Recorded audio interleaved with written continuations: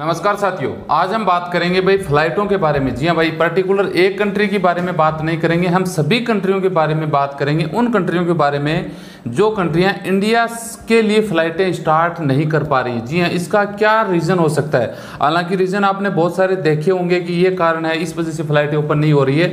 लेकिन देखिए, हम वो है ना, बगल में छोरा हमारे राजस्थानी में एक है, बगल में छोरा और गाँव में ढिंडोरा। यानी समझ रहे हो बात को? कमी अपने में है, हम दूसरों के अंदर कमी निकालने की कोशिश कर रहे हैं कि वो देश फ़्लाइट स्टार्ट नहीं कर रहा है। ये ठीक है, अच्छी बात है, लेकिन कुछ हद तक हमारे अंदर भी कुछ कमियाँ इसी वजह से हर कोई इंसान, देखिए होता क्या है, आपने देखा होगा परिवार में कोई अगर खराब बंदा है है तो उनसे लोग डरते हैं कि यार ये गंदा है, छोड़ दो इसको, एक इससे दूर रहो, वरना इससे हमें प्रॉब्लम हो सकती है। सेम कंडीशन ये स्थिति हो रही है इंडिया के साथ और इंडिया के लोगों के साथ। जी हाँ डिटेल से हम बात करेंगे कि फ़्लाइटें स्टार्ट क्यों नहीं हो पा रही हैं, कब तक स्टार्ट हो सकती हैं, या अब तक स्टार्ट क्यों नहीं हो रही है, आगे क्या स्थिति होने वाली है इस महीने में, अगस्त महीने में। जी हाँ क्या ये भयंकर रूप लेगी? फ्लाइटें बंद होने वाली संभावनाएँ बढ़ेगी या फिर कम होगी या फ्लाइटें स्टार्ट हो सकती हैं?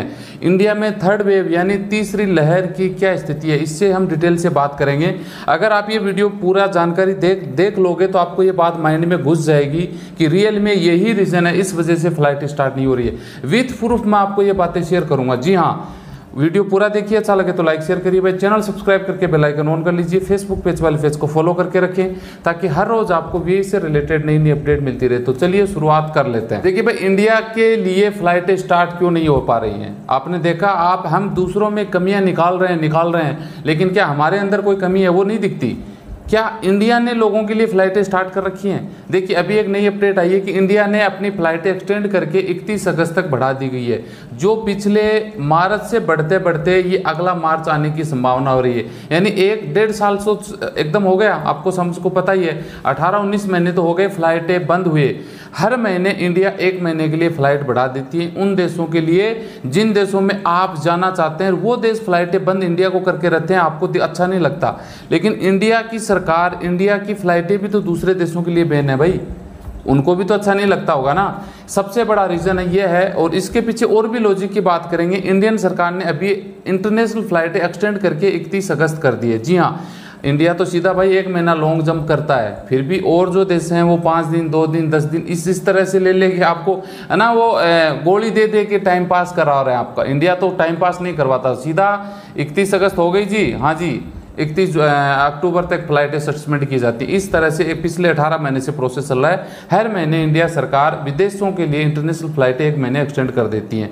जबकि जबकि इंडिया की स्थिति कोरोना की क्या है, आपको इस बात को भी जान लेना चाहिए। वर्ल्ड में देखिए, वर्ल्ड में जितने भी अभी देश चल रहे हैं कोरोना के माहौल में उसमें सबसे, जिसमें 20 देश हैं, उसमें बावन प्रतिशत केस इन्हीं 20 देशों में है। बाकी कोरोना 200 देशों से ऊपर में आपको सबको पता ही है। सबसे ज़्यादा केस यूएसए में आ रहे हैं। जी हाँ पिछले 24 घंटे में लगभग लाख के करीब केस आए यूएसए में।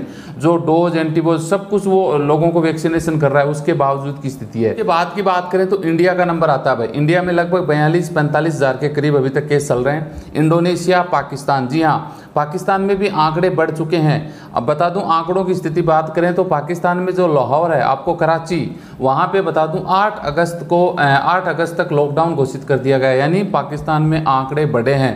ऑस्ट्रेलिया में भी बाईस आंकड़े बढ़ रहे हैं। ज़ीरो ज़ीरो संख्या करने के चक्कर में ऑस्ट्रेलिया ने सड़क पे अपनी सेना भी उतार दी है कि भाई एकदम सख्ताई से पेश आया जाए और लोगों के पास ऑस्ट्रेलिया के वीज़े आ रहे हैं। गल्फ में बता दूँ, अब ये जो कंट्रीज़ हैं, अब आप समझिए कि ये इन देशों में सबसे ज़्यादा आंकड़े चल रहे हैं। हर देश की नज़र इन देशों पे है। तो भाई कौन नहीं डरेगा? अब इंडिया के लिए देखिए इंडिया के लिए फ़्लाइटें बंद क्यों करके रखी हैं? सबसे बड़ी प्रॉब्लम हमें कौन से कंट्रीज़ में आ रही है? दुबई में, सऊदी में, कुवैत में, बहरीन में, ओमान, समझ गए? और कतर कतर के लिए फ़्लाइटें स्टार्ट हैं ऑलरेडी ठीक है। ये छः कंट्री हैं, उनमें से एक कंट्री ने फ़्लाइटें स्टार्ट कर रखी हैं, बाकी पाँच कंट्रियों ने अभी फ़्लाइटें बैन करके रखी हैं। जी हाँ इसमें एक आपको गणित समझना पड़ेगा कि ये क्या रीज़न है कि भाई इतना बड़ा देश है इंडिया का, उसमें बयालीस तैंतालीस हज़ार केस, कोई बड़ी बात नहीं आना। मामूली सी बात है, आ सकते हैं। क्योंकि पब्लिक पब्लिक देखिए, एक 1.35 करोड़ के ऊपर पब्लिक है तो कोई बड़ी बात नहीं है। देखिए, इन जो गल्फ देश हैं छः देश मैंने बताए, Dubai, Qatar, Muscat, Bahrain, Kuwait छः देशों में मान लीजिए एक करोड़ पब्लिक रहती है। छः देशों का अगर एवरेज माने एक करोड़ पब्लिक रहती है गारंटी के साथ मेरे से लिखवा के ले लीजिए कि एक करोड़ में से लगभग 80 परसेंट पब्लिक कौन है? 80 यानी 80 प्रतिशत कौन है? 20 प्रतिशत कौन है? मैं बता देता हूँ।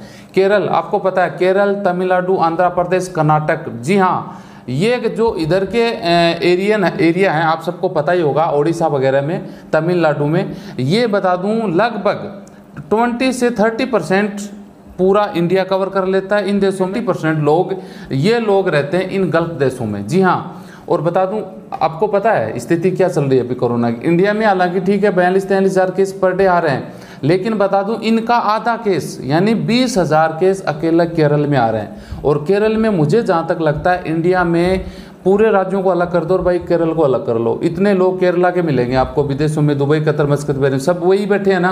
और उसी स्टेट में सबसे ज़्यादा केस आ रहे हैं कोरोना के। तो भाई देखिए, जो वीए की सरकार है और भी अलग अलग देश, जो गल्फ देश होंगे उनको नहीं पता कि हमारे देश में सबसे ज़्यादा कौन सी लोग रहते हैं कौन सी स्टेटों के रहते हैं वहाँ पर कोरोना की स्थिति क्या है। तो इंडिया को छोड़ दीजिए। आप, अब उनको भी पता है कि जैसे फ्लाइटें ओपन होती हैं तो लोग तो आएँगे। ये तो नहीं कि पर्टिकुलर केरल, तमिलनाडु को और कर्नाटका को और इनको रोक दो और बाकी स्टेट की फ्लाइटें स्टार्ट कर दो। ऐसा तो नहीं होगा। फ्लाइटें तो सब साथ में स्टार्ट होनी है। जबकि चालीस हज़ार केस बयालीस हज़ार केस एक इंडिया पूरे में कवर कर रहा है। उसमें से पचास परसेंट केस अकेले केरला में आ रहे हैं। पिछले चौबीस घंटे की बात करें तो बीस हज़ार केस अकेले केरला में आए और पूरी इंडिया में चालीस हज़ार के केस करीब आए आप सोचिए जी, क्या संभव है? जैसे ही फ्लाइटें स्टार्ट होंगी तो फिर ये लोग तो जाएँगे इन देशों में, इन देशों में जाएँगे तो भाई फिर ये देश तो डरेंगे ना कि भाई इन देशों में इन स्टेटों में ये स्थिति है तो हमारे लिए कितने खतरे की घंटी हो सकती है। बाकी अगर ये जो थर्ड वेव आ रही है, आप लोगों को बोलेंगे इंडिया में कौन सी थर्ड लहर है? भाई देशों में तो पांचवी, चौथी लहर आ रही है। जी हाँ आप सर्च करके देखना, कई देशों में तीसरी लहर आके चली गई, चौथी लहर आ रही है। कई देशों में पांचवी लहर आ रही है। आप इस बात को पता लेना। और इंडिया का जो ये अगस्त का महीना है ना, आपकी परीक्षा की घड़ी है भाई। ये अगस्त के महीने में आप लोग एहसास करवा दोगे दूसरे देशों को कि फ़्लाइट स्टार्ट करनी है या लंबे समय के लिए 2022 में फ़्लाइटें स्टार्ट करनी है। ये मेरी बात को गांठ बाँध के रख लेना। क्योंकि ये महीना पूरे आंकड़ा, पूरा सिस्टम, पूरे साइंस, पूरे वैज्ञानिक, पूरे साइंटिस्ट पूरे पूरे टारगेट दे रखा है कि भाई अगस्त में तीसरी लहर आती है तो एक से डेढ़ लाख लोग पर डे इसमें संक्रमित होंगे और ये डेल्टा वेरियंट है। जी हाँ एक आदमी सीधे सीधे तुरंत प्रभाव से आठ लोगों को इसमें जखड़ में ले लेता है। आठ लोगों को एक आदमी तुरंत प्रभाव से अपने जैसा ही उनको बना लेगा, यानी संक्रमित कर सकता है। और ये डेल्टा वेरिएंट है, इतना फास्टली बढ़ता है कि आप सोच नहीं सकते, पूरे परिवार को तुरंत प्रभाव से कैच कर लेता है। ये डेल्टा वेरिएंट फैल फैलने में, संक्रमित होने में इसकी जो स्पीड है वो ज़्यादा है। जो पिछले दो बार जो कोरोना है, आपको पता है, corona plus delta delta one, delta two, ऐसे साइंटिस्ट ने इनको नाम दे रखे हैं। जी हाँ। दूसरी बात कर लेते हैं भाई, सबसे जो इनकी वजह से है ना, एंटीबॉडी, बॉडी में इन स्टेटों में कम हो रही है। एंटीबॉडी इतनी डाउन हो गई कि आप वैक्सीनेट भी कर रहे हो ना अपने आप को तो भी उसकी अक्षमता कम हो रही है। जी हाँ यानी 呃 साठ परसेंट, सत्तर, अस्सी परसेंट, यानी कम उसका रिज़ल्ट आ रहा है। जैसे मैंने डोज लगवा लिया तो मेरे में वो सत्तर परसेंट एंटीबॉडी है। यानी अगर मुझे कोई कोरोना अफेक्टेड आदमी मेरे पास आता है तो सत्तर परसेंट ही मेरा बचाव होगा, तीस परसेंट में फिर भी उसके चांसेज हो जाते हैं। जी हाँ ये स्थिति है। यानी एंटीबॉडी डाउन होती जा रही है लोगों की। तो ये सब सर्वे है ना, भाई, पूरी लोगों के पास हैं, जो विदेश में बैठे हैं ना, विदेशी सरकारें, सबके पास ये डेटा जाते हैं। हालाँकि केरला की बात करें तो फ़र्स्ट वेव में आपको पता है, केरला ने अच्छी तरीके से कोरोना पे कंट्रोल कर लिया था। वर्ल्ड इंडिया में भी नंबर वन था केरला का, कि भाई केरला में कंट्रोल हो चुका है। फ्लाइटें दोबारा स्टार्ट हुई, आप सबको पता है।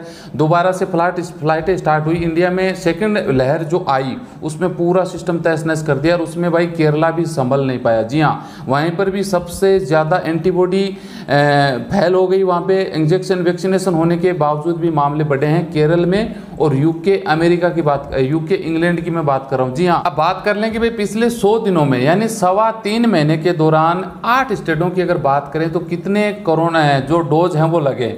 और ये इस तरह से अगर डोज लगते रहे तो कब तक ये डोज कंप्लीट हो पाएँगे? एक अगर सर्वे देखें तो बिहार में, जी हाँ एक करोड़ बयासी लाख लोगों के टीके लगे हैं, जो कुल आबादी का बता दूँ, साढ़े पंद्रह परसेंट ही लोगों को टीके लगे हैं। यानी सौ में से पंद्रह परसेंट आप मान सकते हैं, पंद्रह लोगों को टीके लगे हैं। जी हाँ एंटीबॉडी की बात करें तो सेवेंटी फाइव एंटीबॉडी, यानी सेवेंटी फाइव परसेंट ही एंटीबॉडी वो काम कर रही है, कोरोना के कारगर। जी, यूपी में बात करें तो बता दूँ लगभग पूरी जनता है, तीन तीन करोड़ चौसठ लाख लोगों को अभी टीके लगे हैं। लगभग 16 परसेंट, सवा सोलह परसेंट लोगों को ही कुल आबादी के टीके लगे एंटीबॉडी 71 प्रतिशत आ रही है। जी हाँ महाराष्ट्र की बात करें तो तीन पॉइंट पंद्रह करोड़। जी हाँ टीके लगे हैं। पूरी जो जनसंख्या वहाँ का 25 यानी 26 परसेंट लोगों को ही टीके लगे हैं। एंटीबॉडी सबसे डाउन है भाई। 58 प्रतिशत एंटीबॉडी वहाँ पे काम कर रही है, यानी लोगों में रिज़ल्ट आ रहा है इसका। राजस्थान की बात करें तो भाई बता दूँ, लगभग सात आठ करोड़ की जनसंख्या है। उसमें से दो पॉइंट दो दो करोड़ बारह लाख लोगों को अभी टीके लगे हैं। जी हाँ पूरी जनसंख्या का बता दूँ, सत्ताईस प्रतिशत अभी टीके लगे हैं। छिहत्तर प्रतिशत एंटीबॉडी, यानी एंटीबॉडी ठीक है राजस्थान में। अच्छा इसका रिज़ल्ट है।